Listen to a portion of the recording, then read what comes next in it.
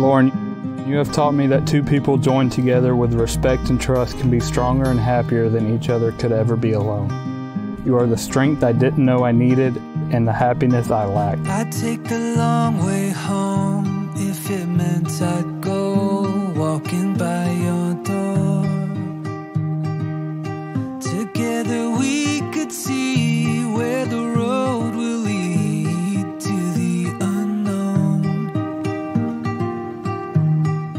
Today's the day that we've been waiting for. Today I choose you to be my husband and I'm proud to be your wife. I was praying for someone like you for a long time. Someone that protects me, takes care of me, loves me, makes me feel safe, and so much more. There is no end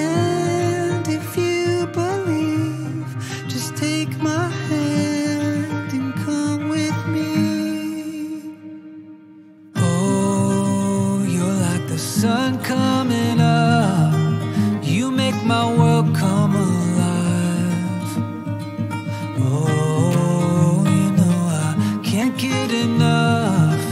You walking by my side. You are my sunshine. This afternoon, we are gathered in the sight of God and these witnesses to bless the joining together of this man and woman in holy matrimony.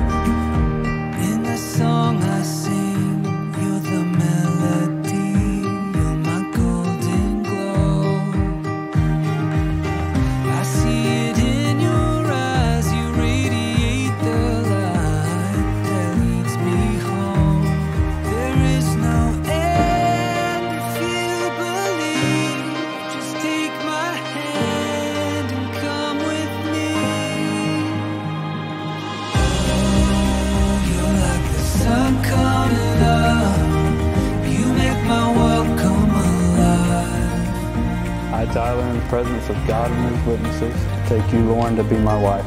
I, Lauren, in the presence of God and His witnesses, take you, Tyler, to be my husband. To have and to hold from this day forward, for better, for worse, for rich or for poor. Sickness and in health, I pledge you my faithfulness. Now that Lauren and Tyler have consented together in holy marriage and have given themselves to each other by their pledges and pronounced them to be husband and wife, I present to you Mr. and Mrs. Emmons. You may kiss your bride.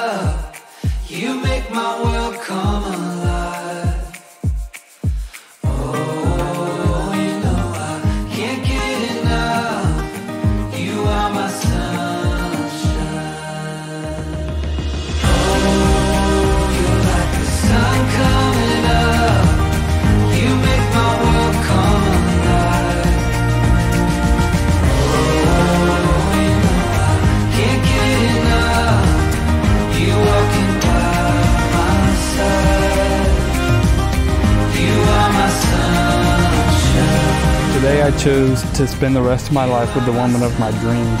I promise to love and support you, to encourage you, and to always put you first. I may be changing my last name, but I've been yours for a while now. I love you. I love you.